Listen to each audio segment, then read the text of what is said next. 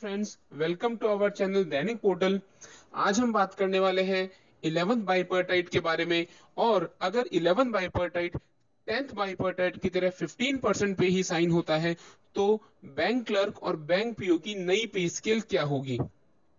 आज हम देखने वाले हैं टेन बाइपर्टाइट के अंदर जो फॉर्मूला यूज़ किया गया, उसके बारे में चर्चा करेंगे कि 15 percent increase over pay slip cost इसका क्या मतलब होता है।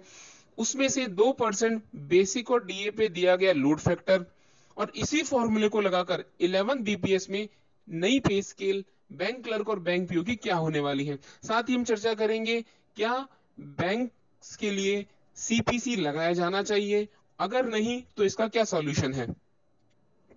मैं ज़्यादा टाइम नहीं लूँगा और आपको पहले ही बता दूँगा कि अगर 10 बीपीएस में जो फॉर्मूला लगाया गया है वही फॉर्मूला वही परसेंटेज 11th बीपीएस पे लगाया जाए तो एक बैंक क्लर्क की सैलरी बेसिक पे स्केल क्या होने वाली है? जो स्टार्टिंग बेसिक पहले 13,075 है वो 11 बीपीएस के बाद में 19,400 हो जाएगी दोस्तों। ये हमने कैसे कैलकुलेट करा वो आगे आपको ज़रूर बताएँगे। इसी प्रकार बैंक पीओ की पे स्केल जो टेंथ बीपीएस में 23,700 से शुरू होती है वो 11 बीपीएस में 35,180 हो जाएगी। अब इसको कैलकुलेट करने के लिए जो फॉर्मूला लगाया गया है उसको समझना ज़रूरी है दोस्तों। टेंथ बापाइटाइट में क्या हुआ कि 15 परसेंट जो इंक्रीमेंट दिया गया वो वेज बिल पे दिया गया। जो दोस्त नए हैं, जिन्होंने बैंक नया ज्वाइन किया है, उन लोगों के लिए फॉर्मूला उन्हें ये ज़रूर समझना चाहिए कि वेज बिल की कट ऑफ़ डेट उन्होंने रखी 31 मार्च 2012 इसका मतलब ये है कि सभी बैंकों में जितना खर्चा स्टाफ को तनख्वाह देने पे हो रहा है और उसके अलावा जो फैसिलिटीज़ देने पे हो रहा है, उसको वेज बिल कहा गया है। और 31 मार्च 2012 को जो खर्चा था, उसका 15 परसेंट आईबीए ने ऑफ़र किया। 31 मार्च 2012 को कुल मिलाकर 31,503 करोड़ था जिसमें से ऑफिसर्स का 16,000 करोड़ लगभग और वर्कमैन का लगभग 15,000 करोड़ था। तो इसका 15 परसेंट कुल 4,725 करोड़। अब इस प्रकार का वेतन समझौता एक तरह से पुराने अगर वेतन समझौतों को देखा जाए तो ये पहली बार ही ऐसा हुआ।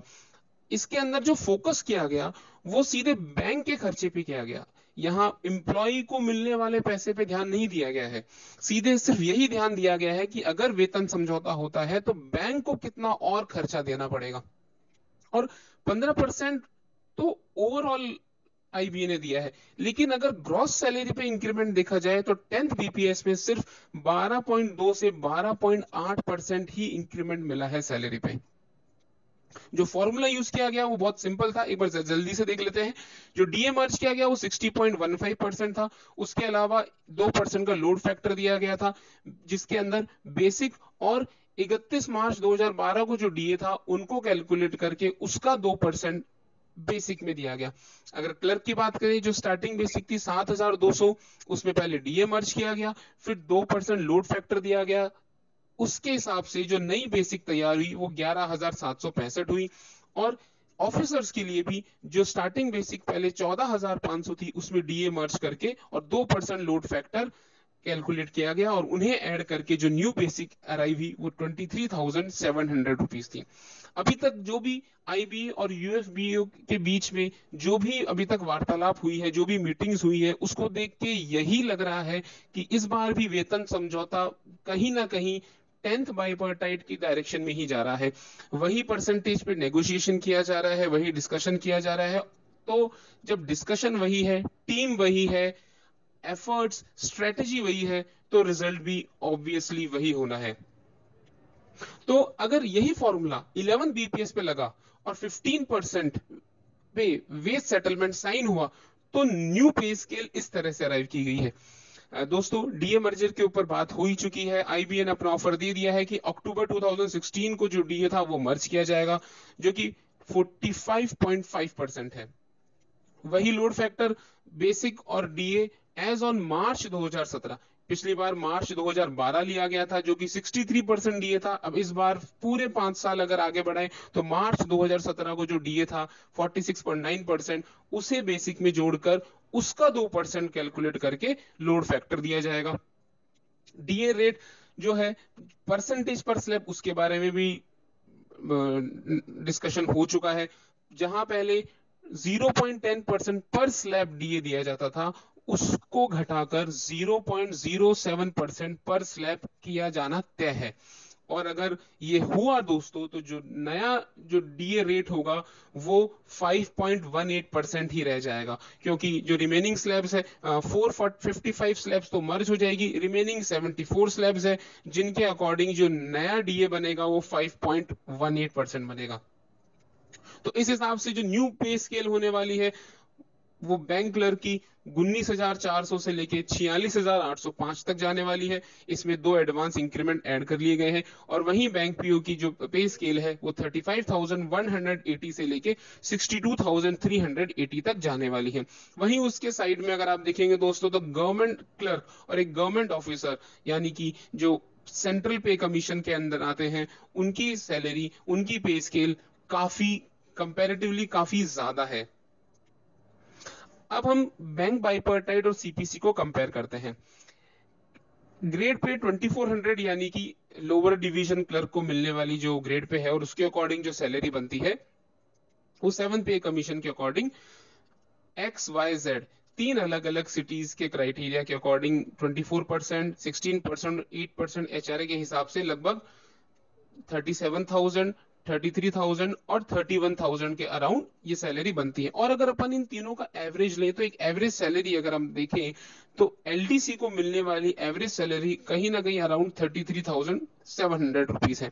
वहीं बैंक क्लर्क की होने वाली सैलरी 11 बाई पटेट के बाद में तीन अलग अलग एच की कैटेगरी जो है उसके अकॉर्डिंग ग्रॉस सैलरी जो टेंथ बाइपर्टाइट में दी जा रही है 23,000 के अराउंड है वो है। और अगर वही 15 परसेंट पे वेज सेटलमेंट होता है तो ले दे के सैलरी पे सिर्फ़ साढ़े बारह परसेंट का ही इंक्रीमेंट मिलेगा। तो इसके अकॉर्डिंग जो 11 बीपीएस में ग्रॉस सैलरी है वो कहीं ना कहीं 26,000 के अराउंड है। तो दोस्तों आप फ़र्क देखिए वहाँ 33,500 है और यहाँ 26,000 है। बैंक क्लर्क की सैलरी में ही इतना ज़्यादा डिफरेंस है तो पीओ और ऑफिसर को कंपेयर करेंगे तो डिफरेंस कहीं ज़्यादा है। तो सवाल यही है कि क्या बाइपर्टाइट सीपीसी को टच कर सकता है? अगर साढ़े बारह परसेंट जो एट प्रेजेंट जो टेन बीपीएस का जो फॉर्मूला रहा और वही जो 11 बीपीएस में होने वाला अगर वही रहा तो ग्रॉस सैलरी सिर्फ़ 26,000 है। लेकिन अगर ये इंक्रीमेंट 40 परसेंट होता है या फिर 45 परसेंट होता है तब जाकर अपन सीपीसी को टच कर सकते हैं। और इतना परसेंट इंक्रीमेंट आप सभी जानते हैं दोस्तों पॉसिबल ही नहीं है। तो क्या बाइपर्टाइट सीपीसी को टच कर सकता है? नहीं कर सकता। तो अब इन प्रॉब्लम का सॉल्यूशन क्या है? सॉल्यूशन है, सबसे पहला है कि परसेंटेज के ऊपर नेगोशिएशन करना एसोसिएशन को यूनियन को सबसे पहले बंद करना चाहिए। परसेंटेज पे डिस्कशन करने का कोई मतलब नहीं है, क्योंकि परसेंटेज अगर 15 से 45 भी हो जाए, यानी तीन गुना भी हो जाए, तब भी बैंक क्लर्क की सैलरी सीपीसी के क्लर्क के मुकाबले कम ही रहने वाली है और ऑफिसर के अंदर ये डिफरेंस और भी ज़्यादा है। तो दूसरा एक डिस्कशन जो आजकल काफ़ी बार देखा जा रहा है कि बैंकर्स को भी पे कमीशन के अंडर में के अंडर इंक्लूड करना चाहिए। तो क्या ये पॉसिबल है? देखा जाए तो ये भी पॉसिबल नहीं है क्योंकि एसोसिएशन यूनियंस इसके लिए कभी राज़ी नहीं होगी। उनका काम तभी चल रहा है जब यूनियन है। और अगर बैंकर्स को पे कमीशन में इंक्लूड कर दिया जाएगा तो उनका तो उनकी दुकान ही बंद हो जाएगी दोस्तों। तो ये भी चीज़ संभव नहीं है। बात सिर्फ़ इतनी होनी चाहिए कि परसेंटेज पे ना बात करके यूनियन को सिर्फ़ इस बारे में फाइट करना चाहिए कि हमें जो सैलरी चाहिए, वो एट पार सीपीसी के हिसाब से चाहिए। ना सीपीसी में इंक्लूड करना चाहिए, लेकिन उसके एट पार इससे यूनियन भी रह जाएगी और कहीं ना कहीं सैलरी में बढ़ने के चांसेस भी बढ़ जाएँगे।